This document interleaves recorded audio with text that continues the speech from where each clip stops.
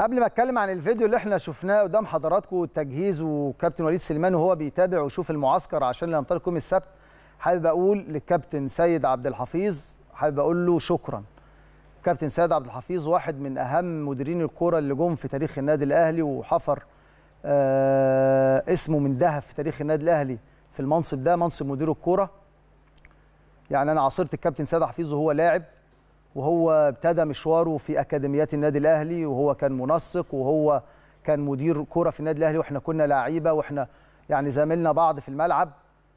والنهاردة وهو خارج النادي الأهلي طبعا مش خارج النادي الأهلي يظل النادي الأهلي بيت الكابتن سيد عبد الحفيظ واحد من أبناء النادي الأهلي المخلصين. النهارده بنقول له شكرا على مسيرة يعني رائعة كان فيها إنجازات وفيها تاريخ كبير جدا يظل يتذكره جمهور النادي الأهلي.